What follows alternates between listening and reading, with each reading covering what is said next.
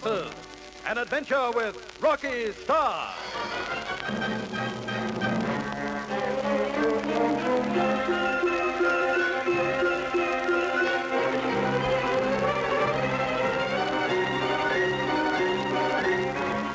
After Zog destroys the Blue Streak, Rocky and Mitch return to Earth. Meanwhile, Zog and Cos cruise round space in a flying saucer. Even Zog seems amazed that Rocky should still be pursuing him. Finally, he calls Cos and tells him that he has decided to kidnap Rocky. I have decided to kidnap Rocky Star and send him to our world as a slave. Zog, you are mad. Your space travel has affected your brain. It must have, otherwise you would not suggest such a thing. What is wrong with my plan? Everything. I think it is a wonderful idea. It's madness to try and kidnap this man. He's clever. Kill him and be done with it. I would much rather send him to our world as a slave. There are plenty of others who But can... only one Rocky Star. the great hero, a slave.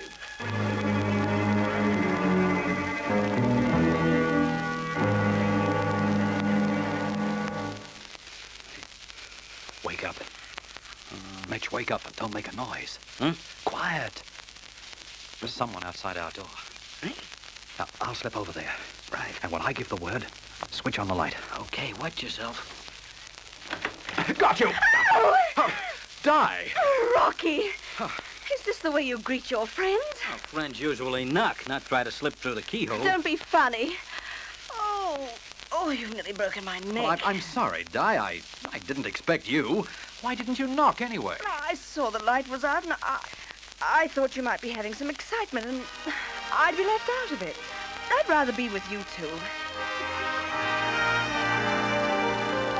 I feel the autumn breeze. It steals across my pillow as soft as the will o' the wisp.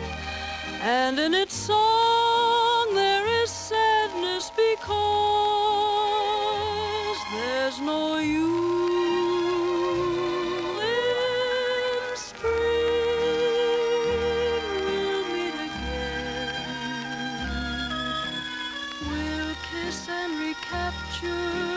the summertime rapture we knew. And from that day, nevermore will I say, there's no you. Di, in future, obey orders. See? The same applies to you, Mitch. Mm, mm, mm, I'll answer it. Man, you're the craziest. Is that the jargon, Mitch? uh, Rocky Star speaking. Who's that? Zog. Rocky, what's he saying? Oh, go away. I want to know. You'll hear after. See the inside of one? What's the guy saying? Nothing would please me more. You will, Zog. You certainly will. Until then. Oh, my gosh. Don't stand there. Come on and give. What's cooking? Zog's invited me aboard his saucer. He has? Rocky, you know it's a Well, trap. of course it is. You're walking into it? Well, I have no other choice, Mitch. Listen, pal, Mitch, you- I've got to keep that appointment. Listen, Sounds awful like sticking your neck out to me. I know what I'm doing. Zog's got to be stopped. And I'm going.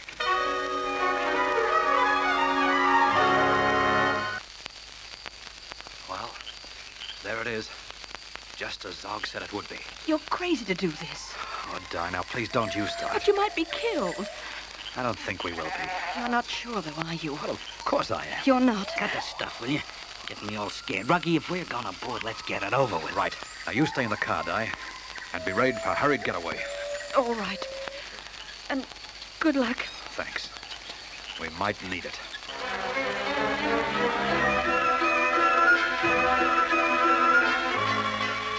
Quickly and quietly, Rocky and Mitch walk toward the saucer and into the trap.